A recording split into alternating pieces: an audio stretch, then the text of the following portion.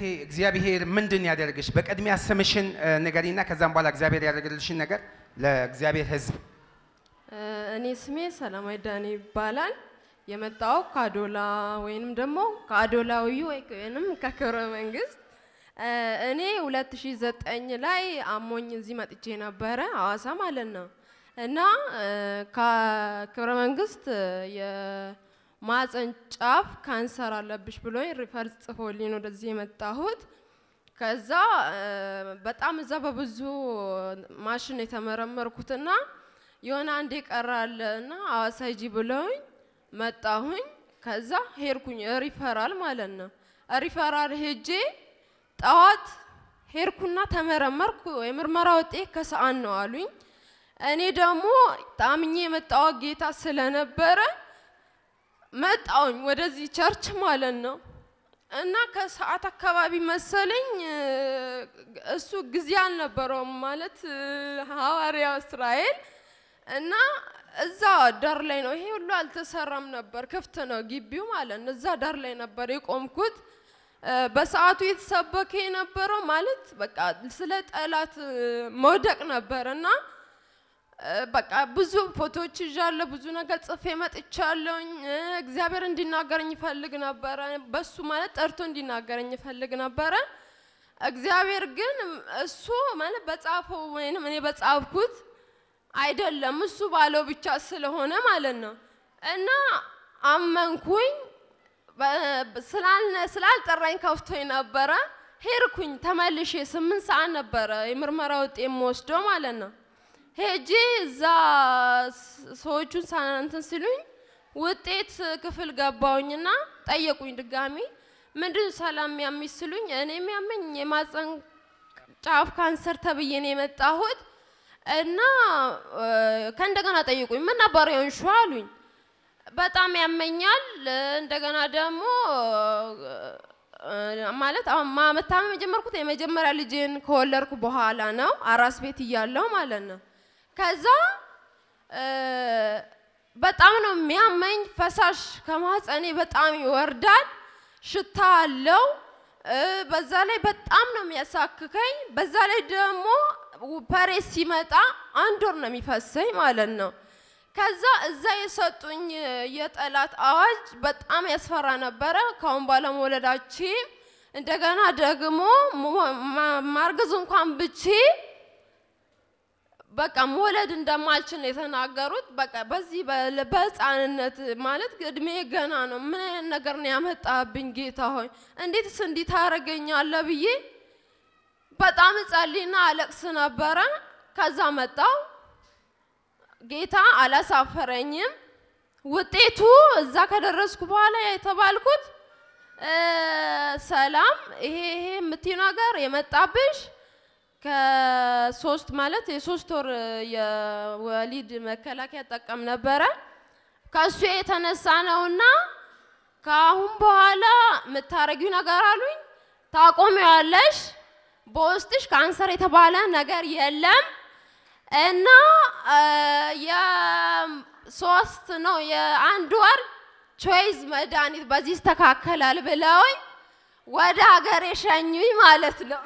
እኔ ምለው አረ ለጌታ ክብር ሰላም የማህፀን ጫፍ ካንሰር የነበረውን እዚህ መተሽ የእግዚአብሔር ባሪያ ቃል ሲያወጣ ያ ቃል ህይወትሽን ታሪክሽን ቀይሮ ትላንትና የጻፉትን ወረቀት አሁን ደግሞ የመጣበት ምክንያትና ብለው ሌላ process ሌላ ነገር ነው የተናገሩት።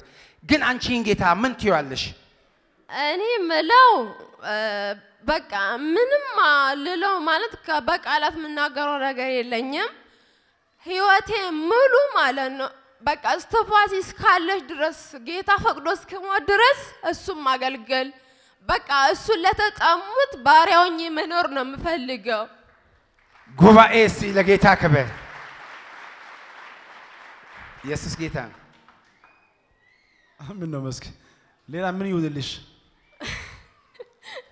እስክጠየቅ እየጠበኩ ነበረ። እኔ ማለት ሌላ እንዲሆንልኝ የምፈልገው እናቴም አባቴም ታማሚ ናቸው። ብዙ አመት ወደ አስራ ምናምን አስራ ሰባት ምናምን በይ፣ እጅሽ ዘርጊና እ? አንቺ ትዕግስት፣ አንቺ ትዕግስት በአንቺ ላይ የቆየው ኤች አይ ቪ በአንቺ ላይ ቆየች። አይዞሽ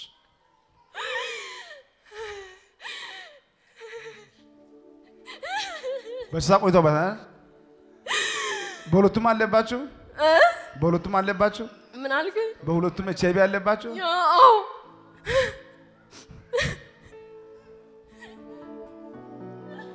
አይዞሽ ዘይት ይዘሻል በእጅሽ ይዘሽ ነው የምትሄጂው። እኔ ቃል አውጣለሁ። እግዚአብሔር በነገር ሁሉ ይቀድማል። ሐሜድ ሐሚድ ባለቤቴ የማይመጥነው ስራ ከዚህ በላይ አይሰራም። ልዩ ስራ በር ከፍቻለሁ አለኝ። አሜን። ምንድን ነው እሱ? ቢያጅ ነው እንዴ? ምን አለ? እሱ ቢያጅ ነው እንዴ? ስራ ምንድን ነው? ጥገና ማለት ቴሌቪዥን በቃ የተበላሹ ነገሮችን ይጠግናል። ኤሌክትሪክ ነክ ነው ማለት ነው። አይዞሽ። እኔ የምልሽ አዲስ የስራ በር ይከፈትለታል። አሜን። ሃናን ሃናን ልጄ ናት። ልጅ ናት። ከአንገት በላይ ስፔሻሊስት ነው የምትሆነው። ጉድ እኮ ነው። አሜን። ዳግም ዳግም ዳግም ዳግም ወንድሜ ነው። ወንድምሽ ነው። አዎ ብሩክስ ብሩክም ወንድሜ ነው። ወታደር ነው እንደሱ። የሰማይ ወታደር አድርጌያለሁ። አሜን። መፈልገው ክብር እስቲ ጉባኤ ወይ ዘይት ወይ- ዘይት ወይ ውሃ አምጪ አለ። ውሃ ወይም ዘይት። እስቲ ጉባኤ ደስ ያለው ለጌታ ክብር። እግዚአብሔር ከኔ ጋር ጌታ በኢየሱስ ስም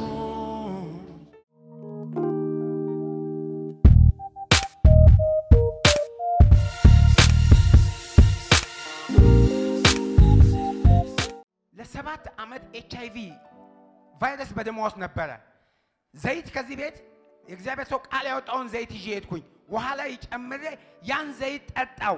ለራሴ እንቆቅልሽ ሆኖብኛል። የሰባት ዓመት መድኃኒቴ እንዲሁ ስቅም የነበረ ሲጨነቅበት የነበረ በጣም በሚገርመው በዛች ቀን ከኔ ላይ ተወገደ ነው የምትለው። ለጌታ ክብር እስቲ ስምሽ ማን ነው? እግዚአብሔር ምን አደረገልሽ? ስምሽም ቅድሚያ እኔ ስሜ ሂሩት መንግስቱ እባላለሁ። ከባሌ ከደሎ መና ነው የመጣሁት እና እግዚአብሔር ያደረገልኝ በጣም ድንቅ ነው። ድንቅ ከድንቅ በላይ ነው። እውነት እኔ አስታማሚ እንኳን የሌለኝ ሰው ነኝ። አመስግኑልኝ እግዚአብሔር። አመስግኑልኝ ነው የምትለው። ሂሩት የተደረገላትን በአንደበቴ መግለጽ አልችልም ብላ ነው እምባ የተናነቃትና ከባሌ ጎባን የመጣሁት እግዚአብሔር ታሪኬን ቀይሯል። በእሷ ታሪክ መቀየር ደስ ያለው ሰው አለ እዚህ ጉባኤ? ለጌታ ክብር። እሺ እና ከዚህ በፊት ላይኛው church እያለ መጥቼ ሄጃለሁ። እዚኛው church አልመጣሁም። ጓደኛዬ መጣች። ከዚህ ትንሹን ዘይት ከዚህ ገዝታ ቃል አስወጥታ ነቢይ እስራኤል ዳንሳ ላይ አስወጥታለኝ ይዛልኝ መጣች። ጠርታኝ ነይና ይህንን ዘይት ጠጪ ትፈወሻለሽ አለችኝ። በጌታ በኢየሱስ ስም ቃል ያለበት ነው ጠጪ አለችኝ። ጠጣው። ከዛ ሄጄ ጤና ጣቢያ ያው እዛ አካባቢ መታየት አልችልም፣ ኤች አይቪ ተጠቃሚ መሆኔን ማንም ያውቃል። ጌታ ሆይ ይሄንን ፍረድ። እውነት እኔ አስታማሚ የሌለኝ ዘመድ የጠላኝ ሰው ነኝ ብዬ ነግሬው ነበረ። ከትንሽ ጊዜ በኋላ ደማችን በስድስት ወር CD4 ይመጣ ነበር እዚህ። ዶክተሬ በግል አነጋገረኝና CD4 ሽ እኮ ነፃ ነው በቃ ጉባኤ ካለ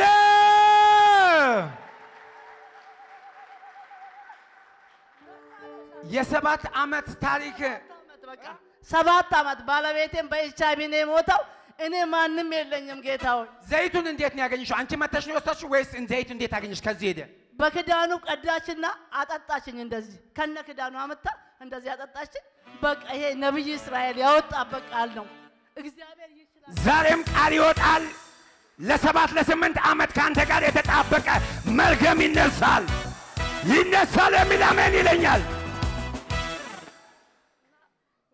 ሁለት ነገር ነው የሆነልኝ። ደግሞ አንደኛ ደግሞ ቤተሰቦቼ አይፈልጉኝም። በስድስት ዓመቴ ሲናፍቁኝ ጊዜ እናቴም ታማለች ሲባል ተነስቼ ሄድኩኝ። እግዚአብሔር ሆይ አልኩኝ። ከመኪና ላይ ወረድኩና ሰፈር ስደርስ ድንቁ ኢየሱስ ድንቅ ታደርጋለህ፣ ለእንደኔ አይነቶች ነው የመጣኸውና አንተ እኔ ከመግባቴ በፊት አንተ ግባ ቀድመክ። እኔ እግዚአብሔር አንተ ትችላለህ ያንን ቤት አንተ ፈትሽ አልኩና ገባው ቤተሰቦቼ ጋር ስገባ እናቴ ታማ ነበረ። ለሁለት ወር ያህል በፍቅር ተቀብለውኝ በቃ እነሱ ጋር ለሁለት ወር ያህል ተቀምጬ ሁለት ሺህ ብር መሳፈሪያ ሰጥተውኝ መሬት ቆርጠው ሰጥተውኝ ድንቁ ኢየሱስ ድንቅ አረገልኝ። ዘይቱን ከተጠቀምሽ በኋላ ነው ይሄ ድጋሚ? አዎ። ኧረ በእውነት ክብር ክብር ክብር ክብር ክብር ክብር ክብር። የታል ጭብጨባ ልታ ለኢየሱስ አቤት አቤት ስ አምላኬ ከጥንት ጀምሮ እንደተናገረ እንደተናገረው የተስፋ ቃሉን ፈጽሞ ይኸው አስደነቀኝ ዛሬ ሳስደነቀኝ። ይገርማል ይደንቀኛል የሱ ስራ የተኛው የቱን ትቼ የቱን ላውራ የተኛው የቱን ላውራ በቀንም በምሽት በሌሊቱ ምስጋና ይድረሰው በየለቱ። ምስጋና ይድረሰው በየለቱ። ለሰራዊት ጌታ ምስጋና የሚለው ካለ እልልታ፣ ወንዶች ጭብጨባ፣ ሴቶች በእልልታ እግዚአብሔር መልካም አድርጎልኛል የሚል። ሃሌሉያ። በተለይ ቦታ ላይ በሚያውቁና በማያውቁ መንገድ በኤች አይ ቪ ተይዞ ያሉ ሰዎች አሉና ለእነዚህ ሰዎች አንቺ የምትይ message ካለ እኔ የምለው እውነት እግዚአብሔርን ታመኑ። ወደ እግዚአብሔር ሰዎች ነቢያት ጋር ኑ። እግዚአብሔር ቃል የወጣበትን ነገር ውሃም ሆነ ዘይት ተጠቀሙ። እግዚአብሔር ያድናል። አዎ የሚያድን ኢየሱስ ብቻ ነው። እግዚአብሔር ለእኔ ድንቅ አድርጎልኛል። እውነት በጣም ከድንቅ በላይ ድንቅ አድርጎልኛል ለእኔ እውነት እኔ ማልታሰብ ሰው ነበርኩ፣ ማልፈለግ ሰው ነበርኩ። እንደ እኔ ቢሆን ማለት ነው። እግዚአብሔር ለእኔ ተአምር ነው ያደረገልኝ። ዶክተሮቹ ለሰባት ዓመት መድኃኒት ይሰጡሽ ነበረና አንቺ ይህን የእግዚአብሔር ሰው ቃል ያወጣበትን ዘይት ከተጠቀምሽ በኋላ ከደምሽ ላይ ኤች አይ ቪ መነቀሉን ሲያቅ ምን ብለው ይሆን ዶክተሮቹ? ዶክተሬ ያለኝ በግል አነጋገረኝና አንቺ እኮ የእግዚአብሔር ለምንድን ነው ተፈውሰሻል፣ ነፃ ነው የመጣው። ከዛ ሲመጣ ነፃ መጣ ያንቺ አለኝ። እንትኑን ምንድን ነው አይደለም። ዘይቱን ጠጥቼ እሷ ጠጥታኝ በሳምንቱ ሄድኩ። በቃ። ከዛ በኋላ ምርመራ እዚህ መጣ። ሐዋሳ ደማችን ይመጣል በየስድስት ወሩ። ነፃ በቃ የኔ በቃ። ነፃ። ነፃ ይበልሳ እንደ ነፃ ድገሙ እስቲ። ነፃ ድገሙ እስቲ። ነፃ ድገሙ እስቲ። ነፃ